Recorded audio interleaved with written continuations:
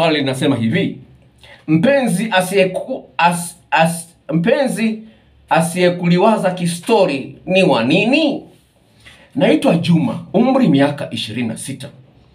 Nina mke wangu niko naye miaka sita. Nampenda lakini hana stori zenye mnogesho. Nimetafuta mwanamke mpya wa kuniliwaza kistori. Je, nimekosea? Unaweza kuona na mwanamke ambaye stori zake ni kali, au anaunganisha na swali lingine. Dokta anaitwa Shabani tokea Rufiji. Nina mchumba akiwa mbali, ana stori tamu kweli, lakini ikiwa naye hana stori, inaboa sana, anakuwa mkimya kama jongoo. Kwa nini? Unaweza kuona jinsi gani ilivyo hatari. Kwa haya mambo yapo. Stori unaweza kuanzisha kwa kuuliza swali. Umeona kitu, umesikia jambo, unauliza swali, mnaanza kujibishana, ina- inakuwa stori nzuri. Tafuta stori hata kwenye mitandao. Yako, ukifika nyumbani na stori ya kuanzisha kumsimulia mke wako au mume wako, sio mnakaa tu kama mabundi, kila mtu yuko biza na simu yake, haipendezi. Kwa hiyo jambo la msingi, hata Biblia inazungumza hilo kwenye kitabu cha Wakolosai 4 mstari wa sita.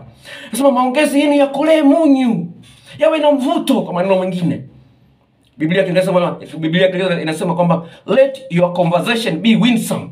Ma, mazungumzo yenye mvuto. Sasa unakaa una, la kuongea na mke wako, mko tu mnaangalia TV pale, haipendezi. Kwa hiyo kuwe mambo na stories hapa na pale na kucheka.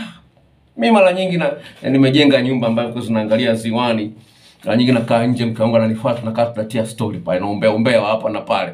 Ni jambo la msingi sana. Kwa hiyo unajua uhusiano unaanza kwa maongezi.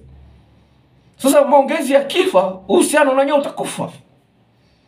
Mahusiano yasiyokuwa na maongezi hayasisimui ubongo, wanaita intellectual stimulation. Yaani ongea vitu ambavyo mwenzio inafanya aanze kufikiria kwamba "Ai, mke wangu ana akili kweli.